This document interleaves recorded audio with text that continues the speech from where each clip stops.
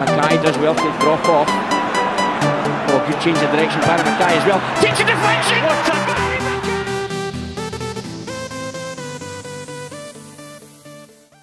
So it's finally happened. After weeks that felt like months of waiting, Philip Senderos has finally put pen to paper and signed for Glasgow Rangers. We're going to be doing a little review of Philip Senderos, will he be a good defender, the pros and cons of him, and then we'll be getting into uh, just a little pre-match review of the Linfield versus Rangers game at Windsor Park that is coming up on Saturday, 3rd of September for a 1 o'clock kickoff. So first things first, Philip Senderos. Just to get the question out of the way, do I think he'll be a good signing for us? Um, in my previous videos, I'm sure you saw, I was uh, a little sceptical about him because, uh, quite honestly, I didn't think he was going to sign.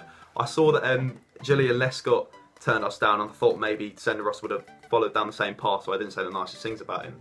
Um, I focused on the negatives and a few of you did comment on that, so uh, well, here are the positives. Yes, I do think he will be a good signing for us. He's a lot better than the likes of Wilson and Kiernan already, but I don't know gonna, who he's going to play next to regularly, because who would I prefer?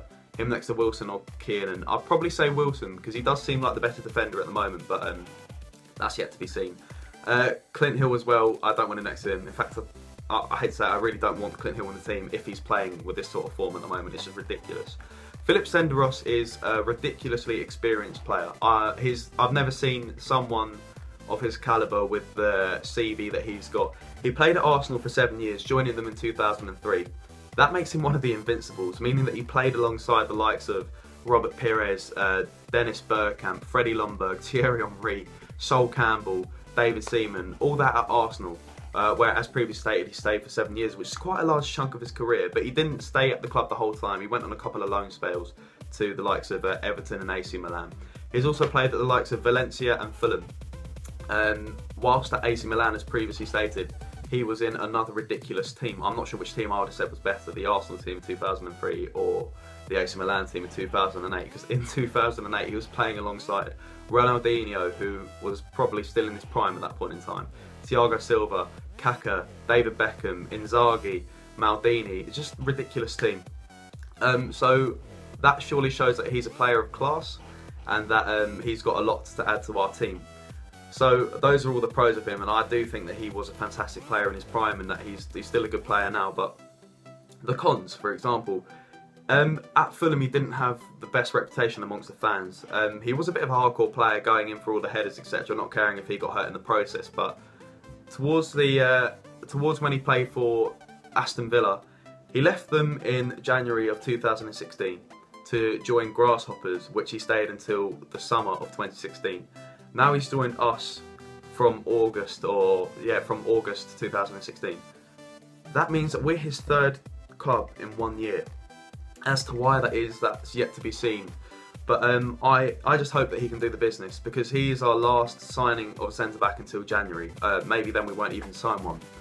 Uh, it does worry me slightly because if he's not the man that we all hope that he is and the man that we need at the back, then we don't have the answers that we need to make our, our defence great again.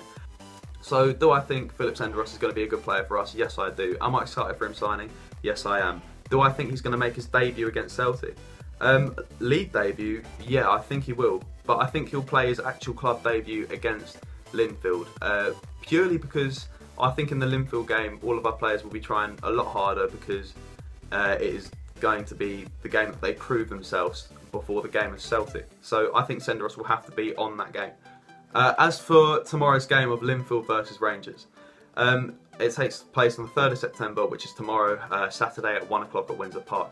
It's actually a testimonial match for Jamie Mulgrew. Uh, it must be said that I don't know much about the player because I don't follow Northern Irish football. However, if I did, Linfield would be my club. So, once uh, uh, again, a huge shout out to our Blues brothers at Linfield.